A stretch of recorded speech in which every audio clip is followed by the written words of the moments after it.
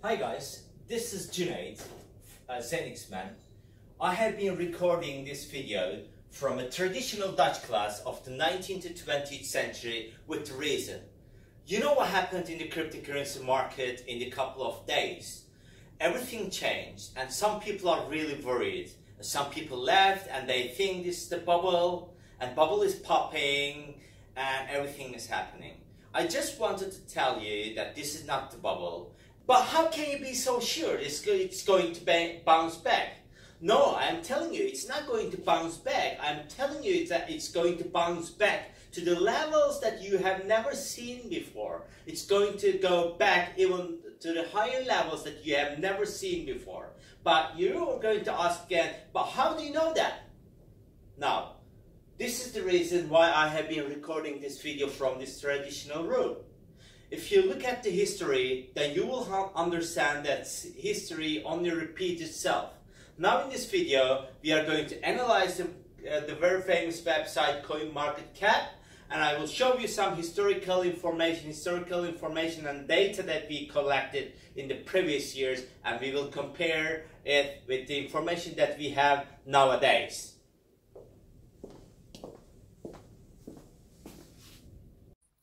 So as I mentioned, we have to analyze the data and we'll go to the website, very famous website, coinmarketcap.com.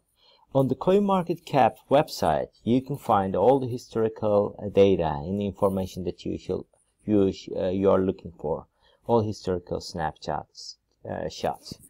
But um, for this analysis, we are going to look at the charts of the Bitcoin. Why Bitcoin? Because Bitcoin is in this field for a longer time and the historical data available for Bitcoin reflects the whole altcoins uh, and also cryptocurrency markets. So we are going to have a look at the 2000 situation in 2014, 2015, 16 and 17.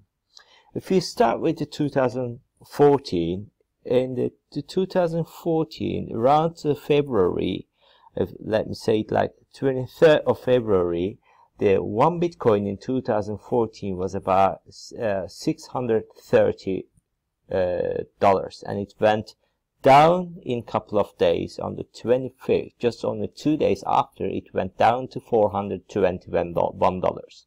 And it bounced back and it collected itself, went a bit up and down and up and down at the end. Of, after a couple of days, around March, it was again the around 697 700 dollars.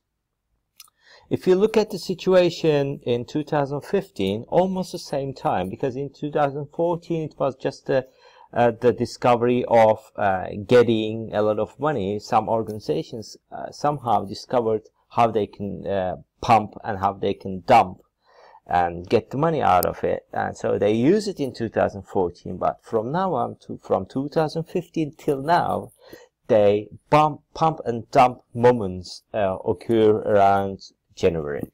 If we look at 2015, we are going to see that in 2015, around the 7th of January, the one while the price was around 300 dollars, just in a couple of days, price of the Bitcoin went down to almost half of the price. It's almost uh, to the uh, $175.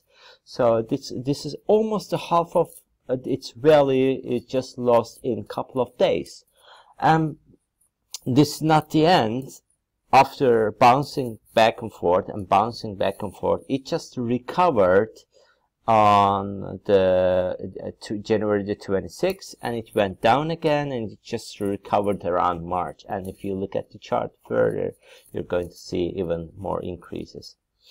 How about the situation in 2016 how was it? In 2016 as I told you before in 2014 it was just an experiment for some organization. They discovered that they can get a lot of profits by dumping and buying it again in uh, January. And they in two, since 2015 every January they do apply the same situation. If you look at 2016 in 2016 in uh, January the 15 while the uh, January the 14 while the price was about 431 uh, uh, dollars it went down in a couple of days to the lowest level of $366. It recovered, it bounced back again, it went up and down, up and down, and at the end, again, somewhere around March, it recovered back. And if you look at the at the end of the April, it, the price went even higher than the previous situation. What about 2017? In 2017, the same situation. Again, as you see, the, around the 9th of January, the price went down and went up and down, up and down, but just recovered at the end of February. So what am I going to, what am I expecting with this data? The, as I told you before, history always repeats itself, and I think this year the price went even bigger up and you are going to see uh, the bounce back in a couple of weeks. It's going to bounce back to the levels that you can never expect. Uh, it will just go back to the price that we have never seen it before. So um, I hope that uh, we uh, you understand the uh, data analysis. If you want to analyze yourself, I advise you to go to the website uh, coinmarketcap.com you'll find all historical information and all the snaps uh, on the website.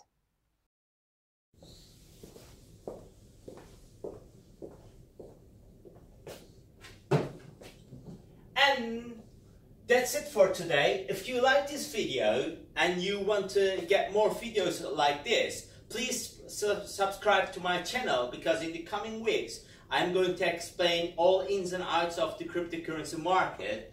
And also, uh, if you wanted to donate some coins, it's okay. I'm going to put the coin addresses down there. But you don't need to donate. You don't need to do anything. If you just wanted to watch this video, it's okay. It's fine as well. Because, you know, I'm a teacher and I like teaching people. I like sharing the information that I have and the world is a beautiful place when we share information.